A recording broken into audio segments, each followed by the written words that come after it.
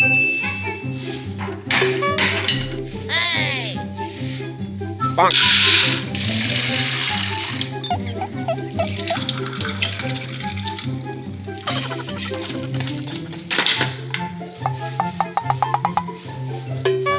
कर रही हो कंचन? चावल बीन रही हूँ।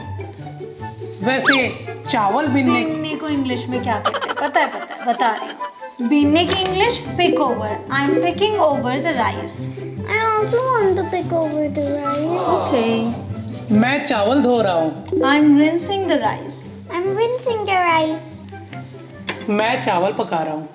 I am cooking the rice और कहना है चावल पक रहा है तो? द राइस इज़ कुकिंग अब मैं चावल पसा रही हूँ मतलब एक्स्ट्रा पानी निकाल रही हूँ। I am draining the rice चावल परोसने की इंग्लिश आप बताइए।